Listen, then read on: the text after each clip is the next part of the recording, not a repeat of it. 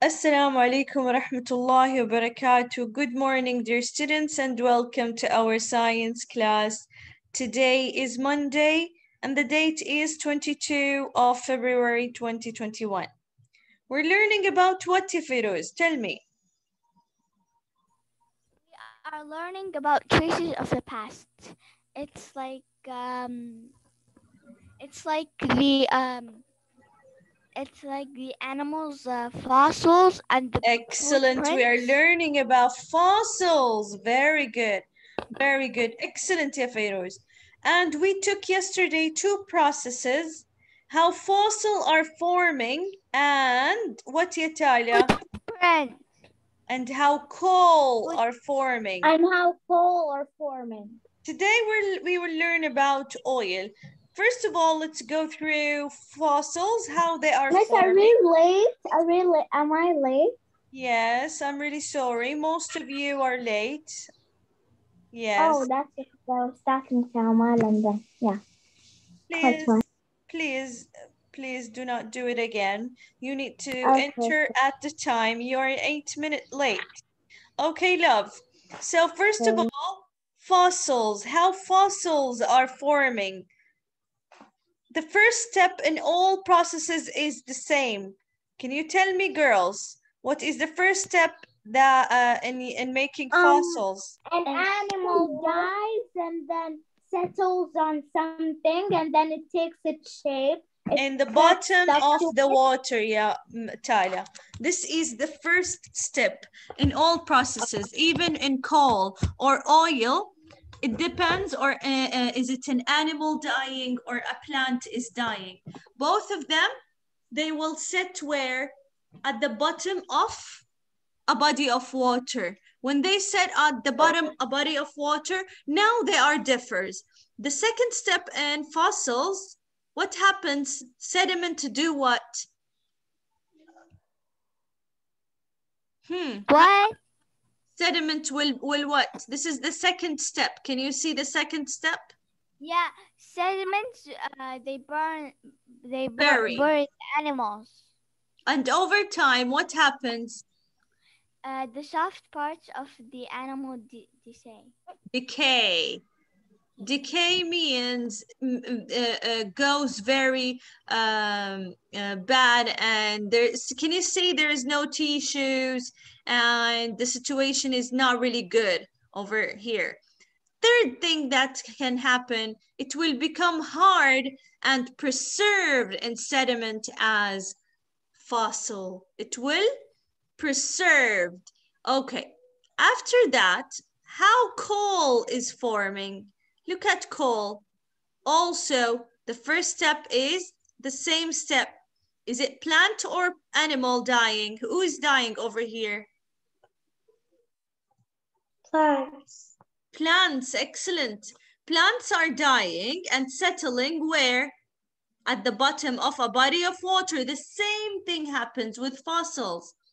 They are buried by what? Coal. Coal. No, they are buried by Sediment. sediments. Excellent. Later, temperature and pressure must rise so it can squeeze out all the water. No more water will be there. Remains, they will change to peat. So whenever you see the word peat, you know it is about coal because co- peat will change to coal later in the third step. Okay, bo- uh, girls? Yes. All right. So, does peat give off heat and smoke or what? Hmm. Yes. Yes, Uh, what? Peat does yeah, not it gets heated. peat give off heat and smoke, bo- both of them? No, no, it only gets heated. Focus, my love. It will get focus. I want you to tell me peat will give off heat and smoke or what? Uh, Read. Peat does not does not give a lot of heat. It produces a lot of what? Smoke. Excellent. When it burns. So the first thing before coal form, we it it forms something called what ya Amal? It forms something called Peat. peat. Peat. Excellent, peat. And then peat will continue to compress and be heated. So after a while, pressure and heat will continue. And when it continues over time, all of the water is gone and coal will be formed. From what? From peat. Excellent.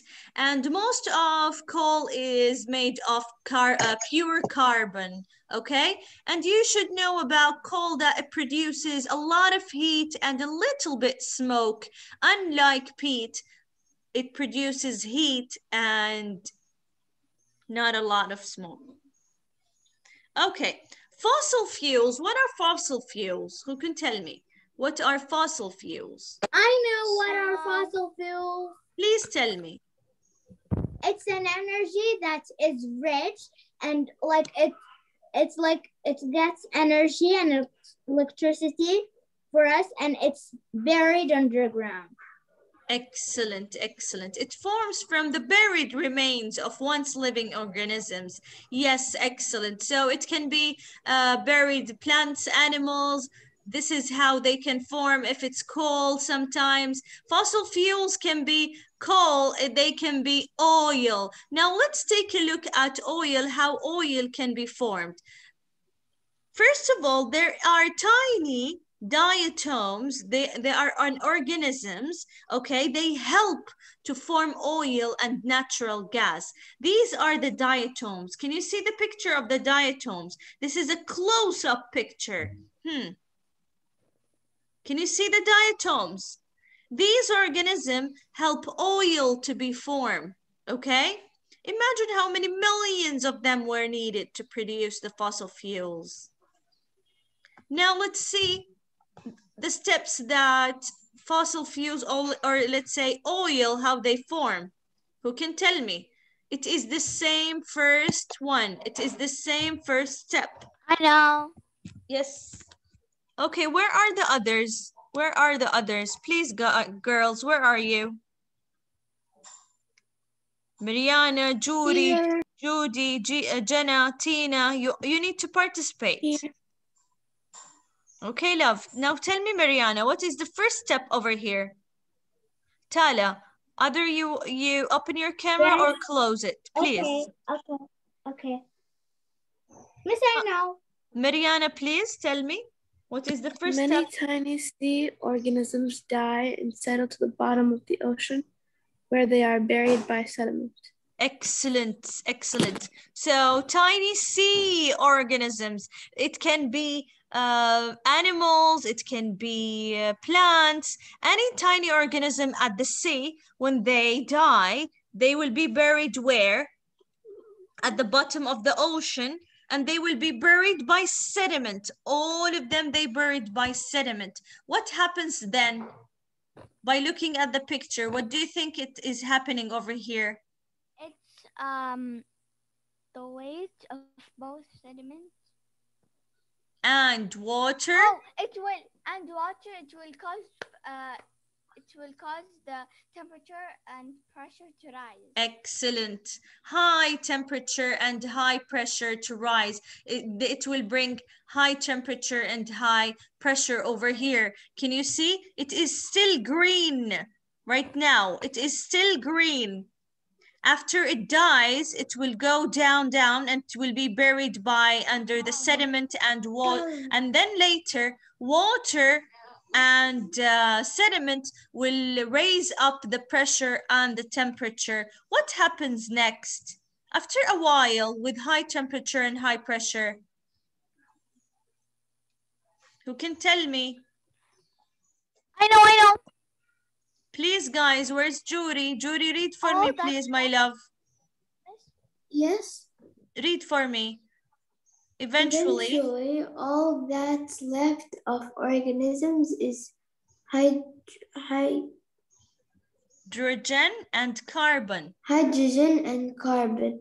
Oil and nature gas Form. form form from these elements. So oil, what does oil need? What are the elements that oil needs?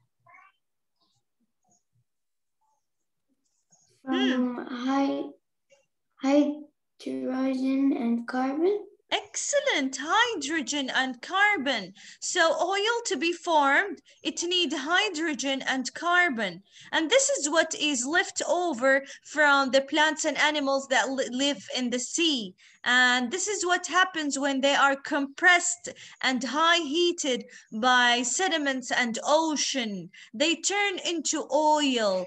They need millions of years to be formed. They do not form easily. After millions of years later, what happened? People are gonna dig for oil. Why? They use it for why? For what? Hmm, natural gas, oil. Why do people use natural gas or oil? No. Hmm, who knows? Because like when they want to fill up their cars, Excellent. like Machines. they can work up with machines and like you know Yes, lots. excellent, excellent. Trains, also airplanes. All these work with uh, fos- uh, with the oil and uh, natural Okay. gas. Very good, very good. Now, why do we learn about fossils? What can fossil tell us? Who can tell me? Why would you learn about fossil? Why do we learn about fossil? Who who knows? To see the animals that used to be existed. Excellent, excellent. To see what animals used to be existed. Excellent. This is a good answer. And what do you think, Ya Amal? Huh? Jude, why do we learn about fossil? So we can know what happens to them. Very good. We can know what happens to them. What are the animals We animals can or see the how living? much like they changed. Nice. We can see the change, how much they change. Very good answers. Thank you. Lovely. What else? There are more. What else? So when we see bones like in the floor, we know it's fossils. Then we learn about We learn about animals that lived in the past. Very good. Very nice. How about we learn about the uh, the places that were existed because not all animals uh, can live in the same place so we can know what are the places that they lived in for example look at this picture this is a woolly mammoth do you see woolly mammoth uh, these days they are very rare Think yes why why ya Tala, they because are they're too big. They're What? like kind of dinosaurs. Not really. They used to live in the ice aged. They used to live in ice aged when cli- when when the climate was very cold. They used to live in the cold. But now most of elephant they live where? In warm In climate. So mammoth, only woolly mammoth, they live in the frozen areas or uh, cold climates. But nowadays, where do they live? In Africa and like you Yes. know Not very cold climate and warm climate. Excellent. They live in Africa, and Africa is not really cold. Africa is really hot. So these fossils we learned about. Uh, we- uh, uh, let us learn about the woolly mammoth. Let's take a look at the fish. These are different kinds of fishes. Okay, these fishes are very different from nowadays fish. First of all, jawless fish. This is a jawless fish. From its name, it doesn't have jaws. At the beginning, when they existed, they would they didn't they did not have jaws. After time, they developed to have very strong jaws to eat and defend themselves. We call this one an armored fish. This is an armored fish. Armored fish have a very strong jaws and it looks creepy and dangerous. Look at the eyes and the jaws. They are very, very dangerous and strong. What about this one? Hmm, who can read for me? Read for me the modern fish, please. Miss, I can. Please read. Fish have changed a lot over time. The first fish had no jar jars. Over time, fish developed jar jars and became lar larger. I mean, Some fish, some fish developed heavy armor plates plates, that covered their bodies. bodies. Fish today have jaws but no armor. Excellent, excellent.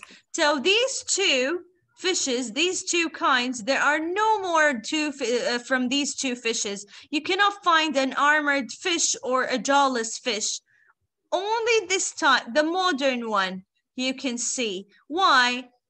They are adapted to the environment around them. They are adapted to uh, the living things that they are living now nowadays around them.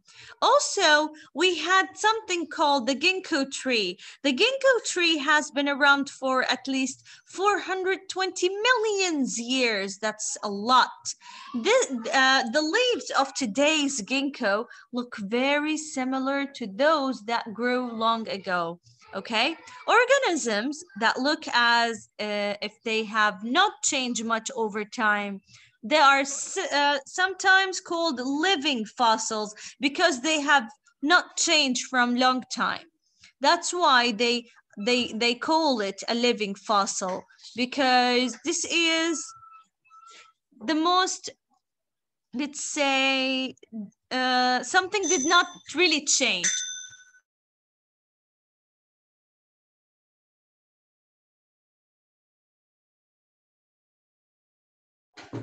All right, girls. Let's see. Scientists who study fossils, what are what do they what do we call them? Do you have any idea? Um, what Pa- is Paleontologist? Excellent again. Paleontologist?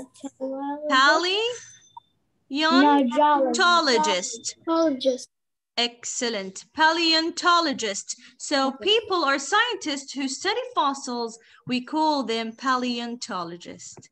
Okay, lovelies. We have 10 minutes. So I would like to do the sum it up with you, only the first page. Open to page 460 together.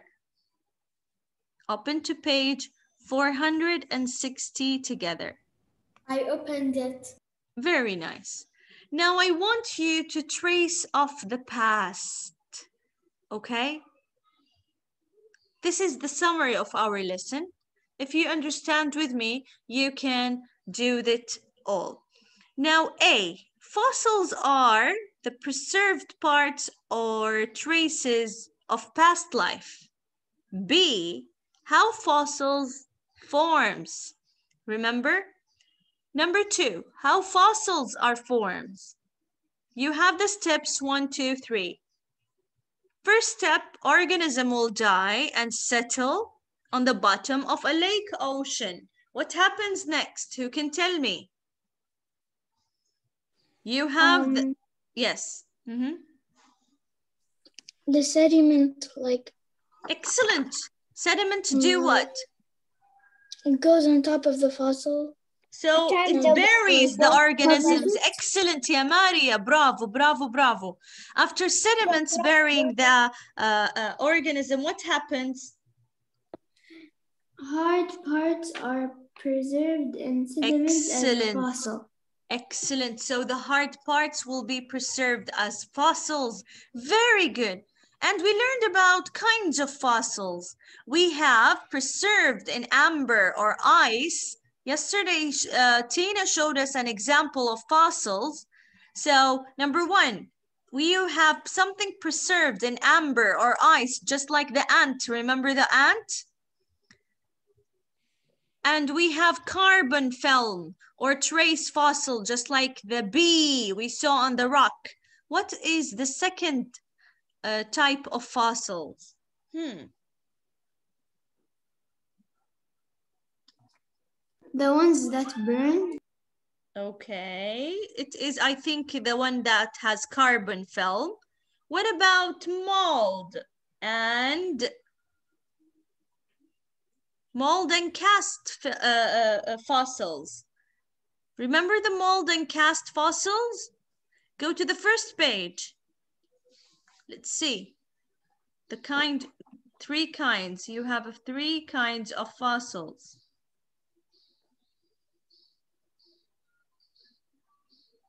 This one. Hmm. Remember this one?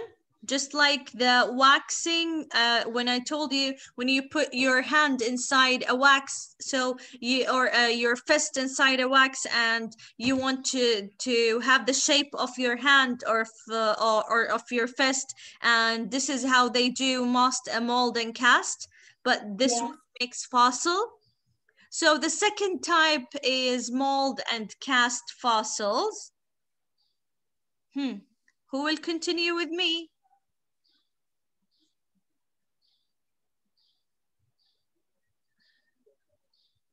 Then we learned about fossils that burn.